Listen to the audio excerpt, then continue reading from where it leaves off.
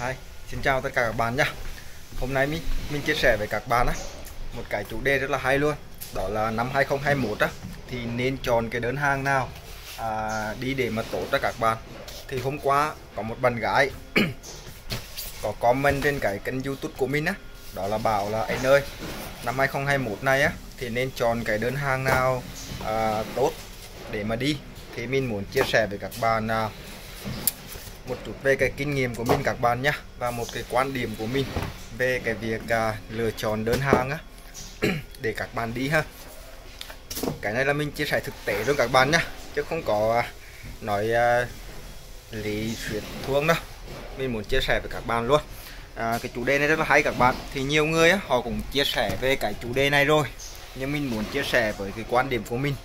Các bạn có thể à, tham khảo nhé còn à, các bạn nào mà có nghe trên kênh youtube nào á, chia sẻ những cái đơn hàng nào mà à, đi để lương cao này kia thì các bạn nghe thì các bạn thấy hay á hoặc các bạn thấy nó đúng thì các bạn cứ nghe theo những người đó nhá còn cái này là cái à, quan điểm của mình cũng như là mình phân tích rõ cho các bạn ha những cái trường hợp thực tế luôn để cho các bạn hiểu nhá à, những cái người kia họ chia sẻ những cái đơn hàng nào đó thì các bạn nghe họ thì các bạn cứ nghe còn các bạn thử nghe xem cái quan điểm của mình nhá mình chia sẻ với các bạn này.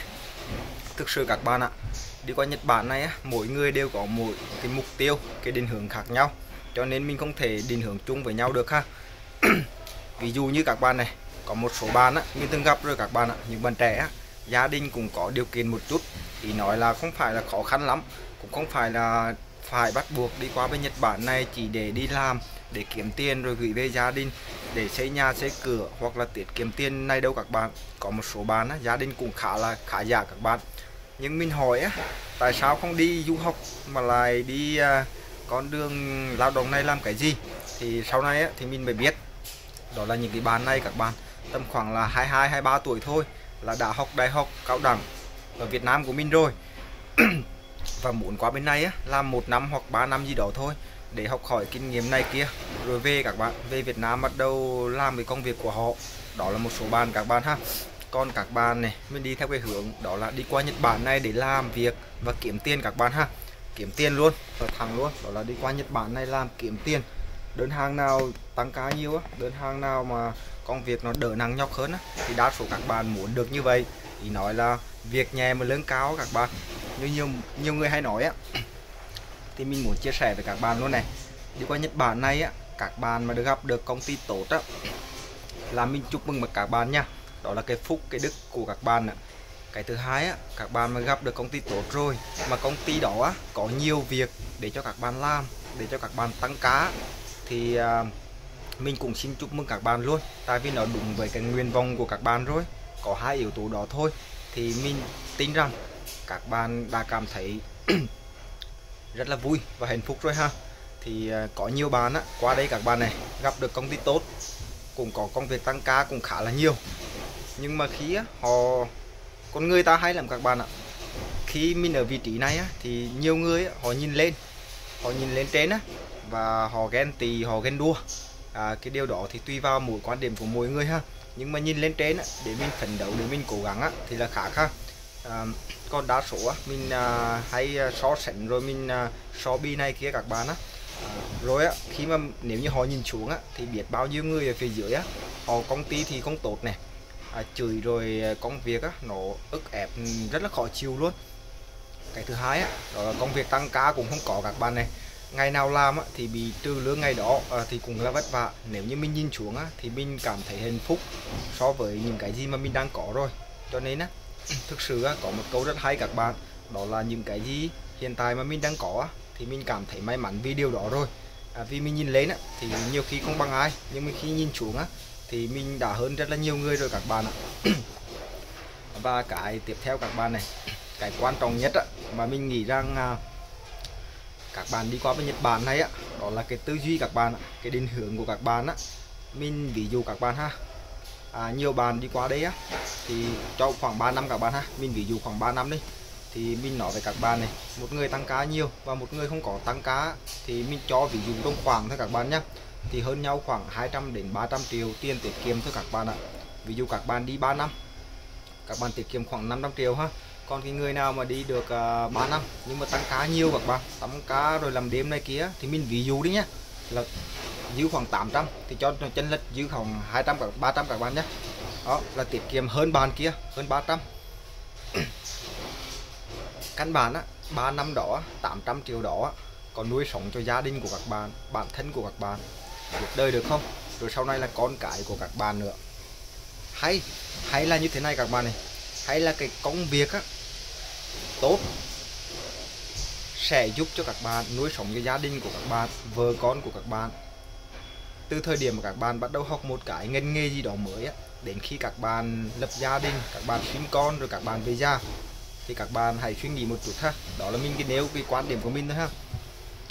Cái phần ít á, những cái bạn nào á, mà qua đấy á, công việc nhiều, các bạn, tăng ca nhiều á, mà nó có cái ý chí, nó có cái nỗ lực nó vừa làm được các bạn á nó vẫn dành thời gian ra để nó học cái chuyên ngành của nó hoặc là họ nó học tiếng Nhật các bạn để sau này nó về làm ở nhà máy nhà xưởng gì đó mà liên quan đến uh, công ty Nhật á thì đó là cái số đó rất là ít các bạn ạ.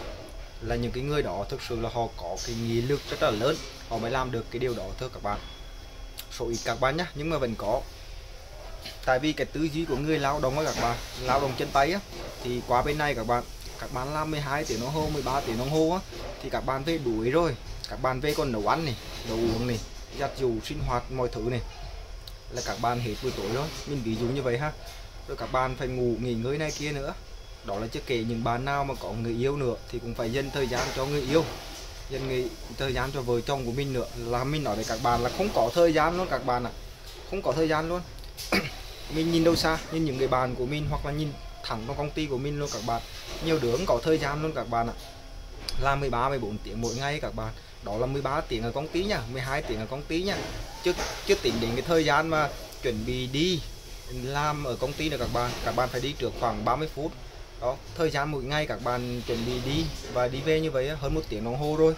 Chứ có phải là thời gian là khít đâu các bạn. Đấy, không có thời gian để các bạn nghỉ luôn. Cho nên cái số lượng người đó nó không không nhiều đâu các bạn mình nghĩ là tầm khoảng 5 đến 10 phần trăm thôi. À, mình khoảng tính thì khoảng khoảng như vậy các bạn ha. Còn cái số lượng người á mà họ làm bên này các bạn này không có tăng cá rồi á và công ty cũng cũng không có nhiều việc để cho các bạn làm á thì cái số ít cũng là ít thôi các bạn ạ. Khoảng tâm đến 10 đến 20 phần trăm thôi. Thì họ biết rằng thôi đằng nào quá đấy á cũng là cũng là là là không có việc rồi. Thôi mình uh, chấp nhận. Thì những người đó các bạn họ học cái ngành chuyên ngành của họ để sau này họ trở về nước á họ làm cái ngành nghề của họ và họ có cái vốn nơi các bạn. Thì họ bắt đầu uh, khởi động á, nó dễ dàng hơn nhiều bạn không có vốn. Đó là một lợi thế của họ ha. Còn một số bạn khác á, thì đa số những cái bạn này các bạn này là họ thường thường á, à, một nhóm khác á, là những cái nhóm này thuộc trong nhóm này các bạn nhé là những người này thường thường sẽ lấy được bằng N3 hay bằng N2 hoặc là bằng N1 các bạn nhé tại vì họ có nhiều thời gian á, cho nên họ dành thời gian để học tiếng Nhật khá là nhiều. Và cái tương lai của họ sau này á, đa số họ sẽ về lựa chọn đó là làm giáo viên dạy tiếng Nhật các bạn này ở các trung tâm hoặc ở các nhà trường. À, rất là nhiều các bạn và một số khác á, thì chọn những cái công ty mà liên quan đến um, tiếng Nhật á, thì để họ làm các bạn phiên dịch viên hoặc là đủ mọi thứ. Làm công nhân hoặc làm uh, quản lý một cái nhà xưởng nào nhỏ ở Nhật Bản á. À, công ty của Nhật ở Việt Nam các bạn ha. Đó là mình chia sẻ với các bạn như vậy ha. Thực tế là nói như vậy các bạn ạ. Còn nhiều người á họ bảo đi qua bên đơn hàng này các bạn ấy, đơn hàng này ngon này đơn hàng kia không ngon này. Thực tế với các bạn mình nói lúc đầu video rồi qua đây là may mắn thôi. Tại vì sao ha? Ngay cả bản thân của mình chứng nhận luôn các bạn này.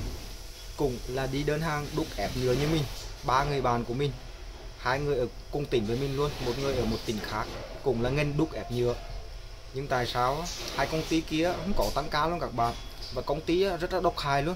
Làm cái mùi á, cái mùi của cái cái cái cái cái công ty ép nhựa đó các bạn á, là làm những cái thân phẩm giai đoạn đầu á. Cho nên nó rất là độc hại luôn. Cái mùi này kia nó nó rất là khó chịu. Còn công ty của mình á, thì là cái công ty cũng là đúc ép nhựa, nhưng nó làm ra những cái thân phẩm đó các bạn. Nó làm ra những cái cái cái thiết bị trực tiếp cho thiết bị ô tô này kia luôn. Cho nên á, nó đỡ độc hại hơn rất là nhiều đấy. Các bạn nhá. À, tùy vào cái cũng là một công ty nhưng là là là mỗi công ty các bạn á, đều à, sẽ có một cái phân xưởng một cái giai đoạn chế biến khác nhau. Đấy. À, thì đó hai công ty những người người bạn của mình á, cũng là một ngành luôn. Việc thì thì, thì hai bạn kia không có nhưng mà công ty của mình các bạn họ kinh doanh họ sản xuất á, họ có nhiều đối tác họ liên kết với nhau và công việc của họ rất là nhiều. Vì vậy họ cho công nhân nhân viên làm việc tăng ca cũng khá là nhiều luôn. Thì đó mình chứng thực cho các bạn luôn. Và những đứa em của mình á nào là đi đơn hàng thực phẩm này các bạn này vô số luôn các bạn ạ. Đứa nào cũng kêu uh, uh, qua đấy không có việc làm anh ơi làm 8 tiếng về thôi chứ không có làm thêm cái gì cả. Rồi một số bạn á thỉnh thoảng lắm á mới thấy được một hai đứa bảo với mình rằng dạ công ty cũng đỡ anh thì cũng nó cũng tạo điều kiện cho tăng ca thêm một chút cũng được à, vài chục tiếng mỗi tháng như vậy á. Thì mình mừng cho những bạn đó đó các bạn thấy không? Cũng là một ngành nghề với nhau cả luôn. À, nhưng mà mọi chuyện khác nhau. Rồi nãy giờ mình toàn nói những cái đơn hàng mà đa số công việc ở trong xưởng nhiều các bạn ha. Bây giờ mình nói cho các bạn nghe về cái đơn hàng mà mọi người đều nên tránh này. Đấy nhưng mà nó lại lại, lại, lại, lại khác nữa các bạn. Đó là cái đơn hàng dàn giáo đơn hàng xây dựng đó các bạn rất nhiều người họ không thích đi đơn hàng ngoài trời tại vì họ biết rằng rất là khổ rất là khó khăn. Lương thì không được bao nhiêu cả các bạn ạ. Nhưng tại sao á? À, một số bạn á, đi những cái đơn hàng này á, đi những cái công ty mà không uy tín á, thì qua bên này á, toàn là gặp công ty xấu này. Gặp người Nhật toàn là người những cái người mà họ cũng cũng rất là nóng tính đó các bạn. Họ chửi rồi họ la mắng rất là kín luôn. Và công việc tăng ca cũng không có là bao nhưng tại sao á, cũng có một số bạn á, đi cũng là đơn hàng xây dựng cũng làm cái ngành nghề như vậy luôn. Nhưng qua đây á, gặp công ty rất là tốt. Họ có nhiều cái chế độ ờ, ờ, cho người lao động rất là tốt luôn. Đến nỗi mà làm 2 năm các bạn họ có những cái chuyến tàu đi du lịch á, đi nước ngoài á. Mà tại vì công ty toàn là người Việt Nam cho nên họ đi đưa cho công nhân viên đi qua Việt Nam du lịch luôn các bạn. Một số bạn ở Đà Nẵng này một số bạn ở Hà Nội này một số bạn ở gần Sài Gòn á thì họ cũng đi chơi với công ty luôn. Tại vì họ đi như vậy là đi khoảng 3 4 ngày luôn các bạn ạ. Đi chơi như vậy á thì á, người ta đi với nhóm và người ta xin phép về thăm bố mẹ thăm gia đình khoảng nửa ngày hoặc một ngày các bạn. Ví dụ giống như là họ bay ra sân bay Đà Nẵng này thì người nào ở Huế người nào ở Quảng Bình thì mất khoảng 3 tiếng đồng hồ 4 tiếng đồng hồ thôi là đến với quê của các bạn rồi. Thì các bạn về thăm gia đình, các bạn thấy tiền tiền đối lương không? Tại vì sao như vậy? Mình nói với các bạn rồi, đó là may mắn mà thôi. Cho nên đó là mình phân tích cho các bạn hiểu nhá, thực tế nó như vậy luôn. Đó, mình vừa phân tích cho các bạn cái lý thuyết nó như vậy rồi nè.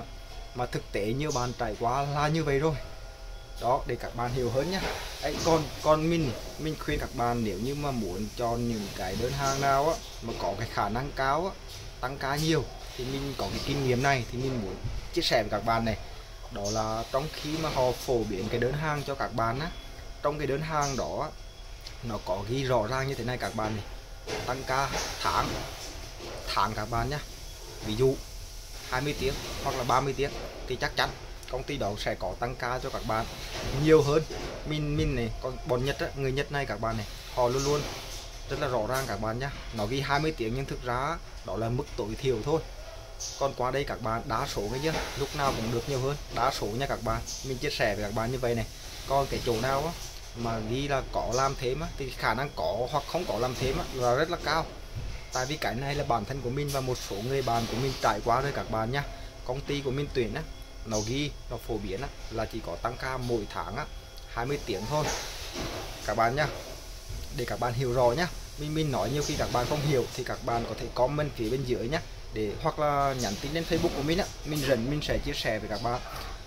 Thì công ty của mình á, phổ biến là tăng ca một tháng 20 tiếng thôi nhưng qua đây các bạn thì thì à, tháng nào cũng tăng ca tối thiểu là 42 tiếng các bạn ạ. Còn tăng ca tối đa là được 79 tiếng đó là mình chia sẻ với các bạn một kinh nghiệm nhỏ như vậy nhá để các bạn chú ý hơn khi mà các bạn xem những cái đơn hàng nhá.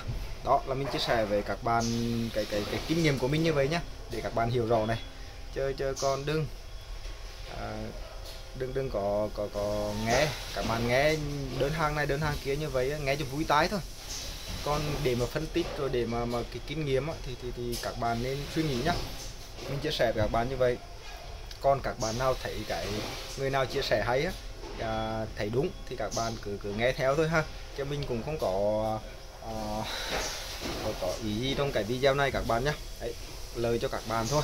Đấy mình vừa mới chia sẻ với các bạn xong 15 phút rồi. Thôi cảm ơn các bạn rất là nhiều nhé và chúc các bạn thật nhiều may mắn luôn. Và bạn nào cứ học tiếng Nhật á, thì cứ học đi. Cái này mình tư duy về các bạn nữa đó. Các bạn học một cái ngành cái nghề để nuôi sống các bạn sau này để lúc các bạn lập gia đình, có vợ, có con, rồi sau này các bạn già luôn. Hay là các bạn chỉ có tư duy là làm trong ngắn hạn thôi. 3 năm các bạn kiếm 800 triệu, hoặc 5 năm gì đó các bạn kiếm được một tỷ hoặc là hơn gì đó đi. Thì các bạn có nuôi sống bản thân của các bạn cả đời hay không? Hay như nhiều người ở ngoài kia, đi 3 năm về, đi 5 năm về, trong lúc đi như vậy các bạn quản lý tiền không được. Rồi xây nhà, xây cửa này kia, rồi cuối cùng về Việt Nam đâu có công việc làm đâu cuối cùng phải quay trở lại Nhật Bản tiếp tục làm thuê. Và mình đặt một câu hỏi với các bạn như thế này này. Thanh xuân của các bạn có được bao lâu? Các bạn có còn sức khỏe dồi dào như cái tuổi 25 30 như thế mãi nữa không? Thì các bạn cứ dành thời gian để dành cả thanh xuân để đi xuất khẩu lao động như vậy thì các bạn mất rất là nhiều đấy. Đó, chia sẻ với các bạn như vậy thôi ha. Chúc các bạn thật nhiều may mắn nha. Xin chào và hẹn gặp lại.